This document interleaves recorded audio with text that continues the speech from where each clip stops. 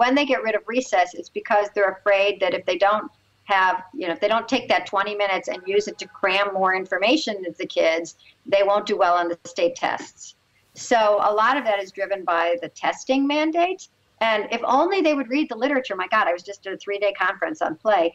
Everybody does better when they have a break, when they run around and play, when they get outside, physical activity, physical activity and literally being outdoors are so good and they're good for kids because you know first of all you get your yayas out but actually that's how the information finally sticks and it gets your brain going again so that it, more information can get into it. It gets children coming to school instead of staying home with a stomach ache because at least they know they're going to have some freedom at some point. So the, the recess thing is really it's a it's a really bad idea uh, of taking away recess because you think that your children are going to learn more if they have that tiny little bit amount of uh, added to classroom time. It's not true. I mean, it isn't true. It's it's it's the opposite of true. And whoever is deciding that should read all the literature on how kids given more free time and play time actually score higher on the tests. Kids who walk to school in the morning do better on morning tests because they've gotten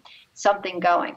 But the um, the other thing that's happening at recess is that certain activities are being banned. And I just got another letter this week about another school that banned tag because children touching each other can hurt each other. And it's like, yeah, that's how you learn to not be a jerk, right? If you're so, if you're if you're a, a bad tag player and you're hurting kids, kids will not play with you. There's a feedback.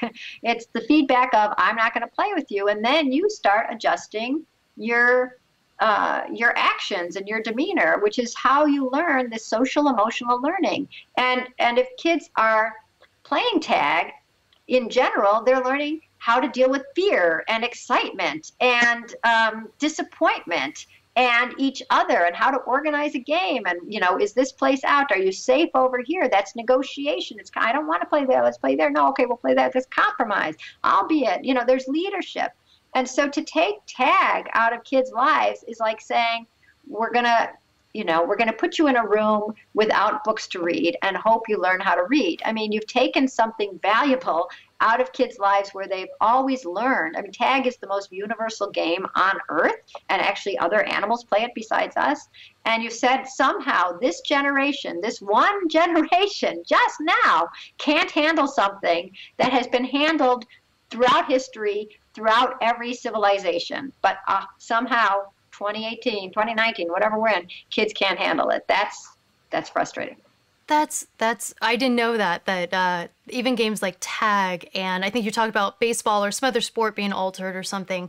Um, I mean, because you're right, these are activities that we have been partic- participating they're, they're in. human. It's it's it's more than human. I mean, really, I, uh, Peter Gray, who's on our board, um, talks about how if you look at like gazelles, they're running around and they are um, it looks like tag but all animals are learning how to escape from a predator and how to find food right? I mean that's how ancient the game of tag is. It's like how do i get away from a predator? How do i go get food? I'm trying to get food by tagging them. I'm trying to you know, avoid the predator by avoiding it right? So it's you just can't get more fundamental than that. And to say we can't handle that is sort of like saying we can't handle crawling. It's like everything has been rewritten as something too hard for our vulnerable, fragile children to handle, even though we handled it and we're fine. Hey everyone, thanks so much for watching the episode. If you're interested in contributing to the conversation and supporting the show, there's two easy things you can do. One, click subscribe, and two, visit our Patreon page where you get exclusive access to the Exploring Minds community.